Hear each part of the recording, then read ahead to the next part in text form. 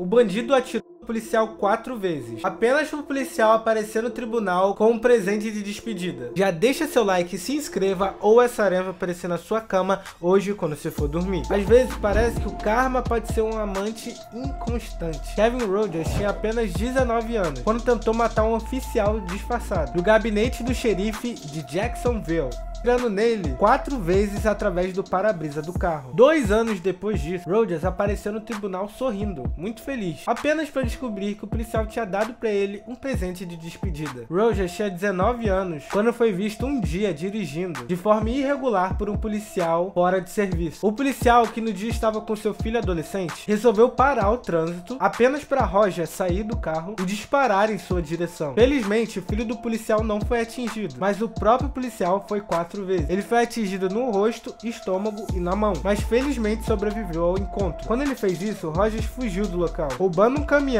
e voltando direto para sua casa. Quando eles chegaram na casa de Rogers, eles atiraram no torso do garoto, na perna e na mão, através de uma porta de vidro. Isso tudo aconteceu porque ele se recusou a largar a arma. O bandido mais tarde seria culpado de tentativa de homicídio de primeiro grau, tentativa de homicídio culposo, duas acusações de agressão com agravante a um policial, roubo de automóvel e fuga. Ao todo, foi condenado à prisão perpétua com mínimo de 25 anos. Depois de tudo isso aconteceu, no tribunal, o policial tinha algumas palavras a falar a Roger. Ele queria apresentar o presente de despedida ao mesmo. Ele mesmo escolheu esse presente cuidadosamente para dar ao Rojo. Vou levar essas balas em vez de um colega policial ou um inspetor inocente. Se houver um covarde naquele dia, foi Kevin Rogers. Quando eu trouxe a luta de volta, você correu como um covarde. Então eu tenho um presentinho para você. Sem mais delongas, o oficial então apresentou uma garrafa de lubrificante no banco das testemunhas, dizendo a Rogers: Você vai precisar muito disso de onde está indo, homenzinho. É,